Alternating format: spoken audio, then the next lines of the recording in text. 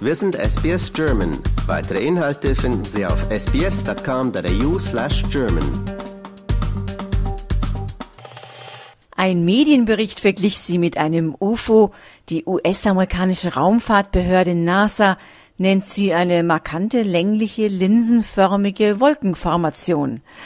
Die charakteristische Wolke bildet sich häufig am Himmel über Middlemarch auf der Südinsel Neuseelands. Der historische Ort im Strathtyeri-Tal wird von einer mächtigen Bergkette, der Rock and Pillar Range, überragt.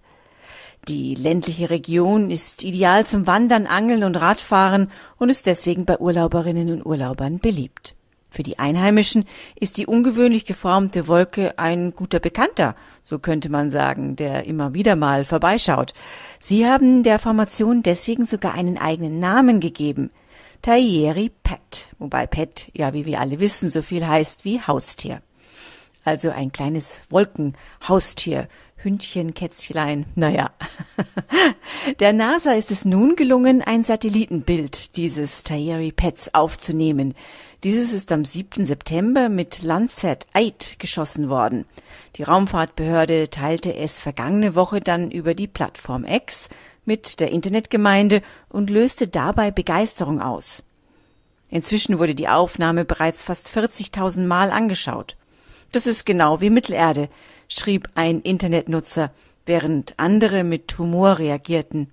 Ich hätte sie George genannt, so der Kommentar einer anderen Internetnutzerin, die damit natürlich auf den Namen der Wolke anspielte. Die NASA erklärte, dass sich solch linsenförmige Wolken bilden würden, wenn vorherrschende Winde auf eine topografische Barriere, beispielsweise eine Bergkette treffen. Wind, der gezwungen wird, über die Berge zu strömen, erzeugt eine Art Welle in der Atmosphäre, schrieben die Experten. Am Wellenkamm kühle sich die Luft ab und der darin enthaltene Wasserdampf kondensiere zu Wolken. Umgekehrt führe fallende Luft zur Erwärmung und Verdunstung.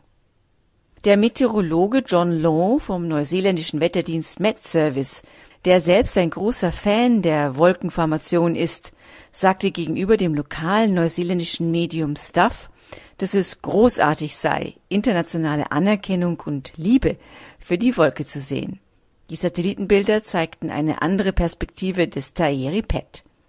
Für diejenigen, die in der Gegend lebten, sehe die Formation nämlich eher wie ein Tellerstapel aus, der sich über eine große Distanz erstrecke. Er erklärte, dass die Art der Wolkenbildung nicht übermäßig selten sei, aber einen bestimmten Standort und ganz bestimmte Bedingungen erfordere. Dazu gehöre die steile Bergkette und eine bestimmte Windrichtung, in diesem Fall aus Nordwesten. Dies erzeuge dann die Welle in der Atmosphäre, die auch die NASA in ihrer Erklärung erwähnte. Aufgrund der Art und Weise, wie sich die Wolken bilden, sehen sie laut Law oft stundenlang stationär aus.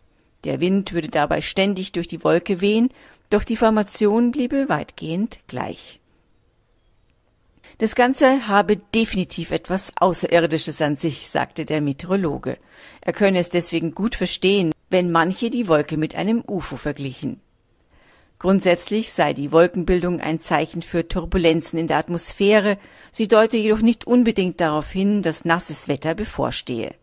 Die NASA dagegen warnte, dass die Bedingungen in und um solche Wolken Gefahren für die Luftfahrt in Form von vertikalen Strömungen, starken Turbulenzen und Vereisung darstellen würden. Neuseeland ist für seine außergewöhnlichen und teils dramatischen Wolken bekannt. Nicht umsonst lautet der indigene Name des Landes auch Aotearoa oder übersetzt Land der langen weißen Wolke. In diesem Fall sehr, sehr passend. Nun, wenn Sie sich diese phänomenale Wolke mal genauer anschauen wollen, dann schauen Sie doch bei uns auf der Website von SBS German vorbei oder auf Facebook unter SBS German. Dort freuen wir uns natürlich auch über viele Likes und nette Kommentare von Ihnen. Das war für SBS Audio Barbara Barkhausen. Liken, teilen und kommentieren Sie unsere Inhalte bei facebook.com/sbsgerman.